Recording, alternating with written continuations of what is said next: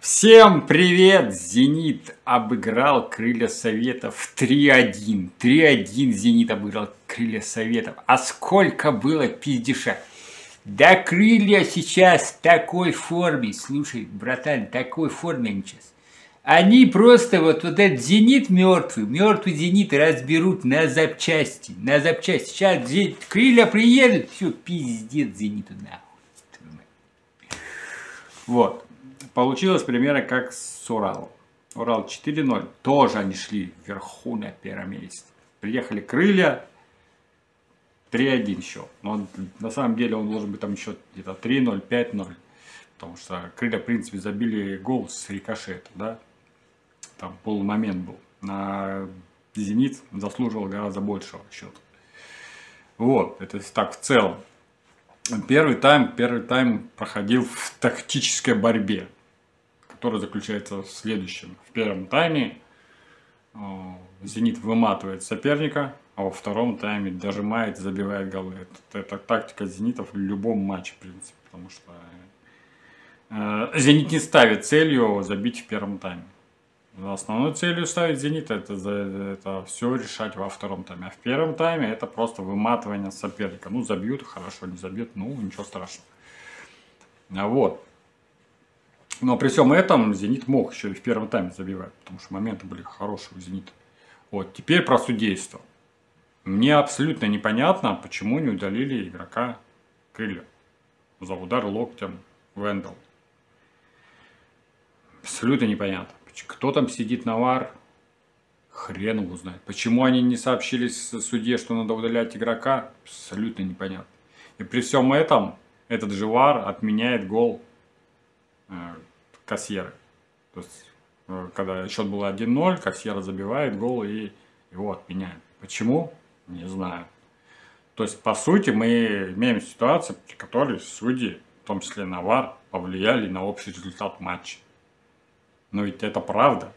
То есть, в одном случае они не удаляют игрока крыльев, а в другом случае они не засчитывают гол Зенита. Вот. Ну, мне это абсолютно непонятно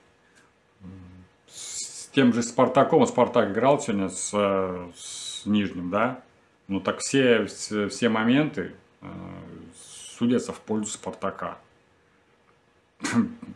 Соболев бьет по башке ногой игрока Нижнего, все нормально, все нормально, все, да ничего страшного. Ну, да, у тебя там скользь, ну, так скользь, да ничего страшного. Ну футбол же это мужской вид спорта, мужской вид спорта, ну ничего страшного.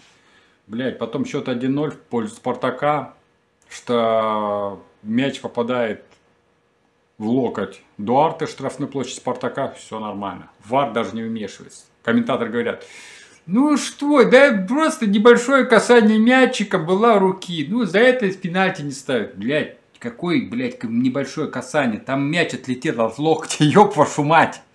Мяч отлетел от локтя. Это пенальти. Стопроцентный пенальти. На варе сидят, нет, мы не можем ставить, мы не можем ставить пенальти ворота Спартака. Так нельзя.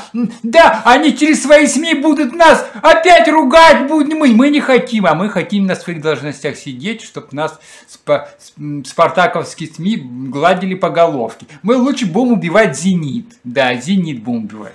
Блять, ну заебало это все, блядь. Про, про спартаковское судейство, блядь, просто заебало. Просто вымораживает. Ну хорошо, вот вернемся к матчу Зенита, да?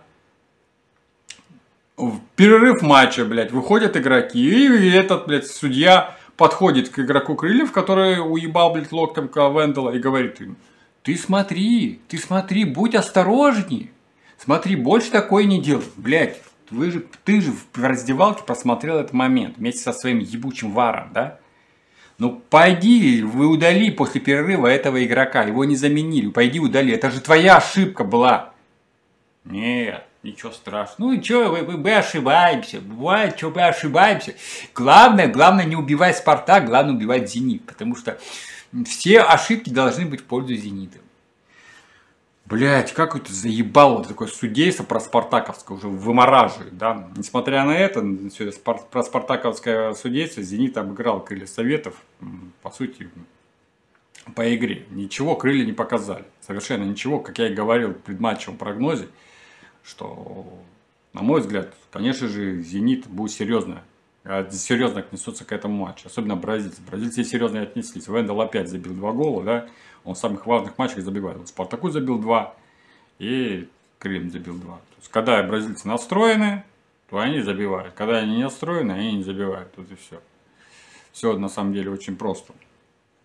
Вот крылья, ну для меня крылья это обычно средняя команда. Ну да, там хорошая игра, хор, хорошая игру поставил Осинкин, да. Но все равно состав там очень слабый. Там невероятно слабый состав. И он просто нестабильный. Он не может так стабильно играть.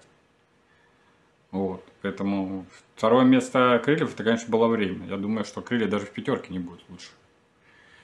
Потихоньку, потихоньку потеряют, растеряют очки и все, и на этом закончится их их, э, их второе место. Оно уже закончилось, сейчас Зенит на втором. Ну а по итогам матча, э, что еще можно сказать?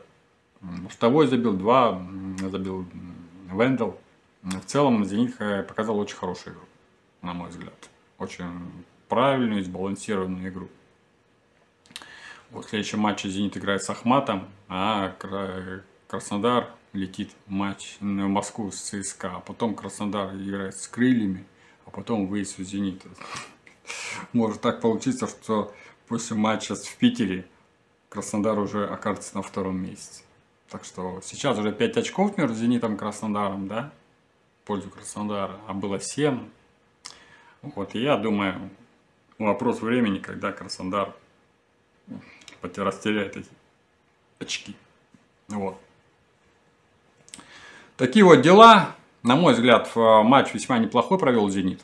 Вот, счет 3-1, голов забили много. Все наши ставки сыграли. Если кто не ставил, зря. Вот. Так что ждем очередного матча с «Зенита» и надеемся на такой же крупный счет. Всем пока.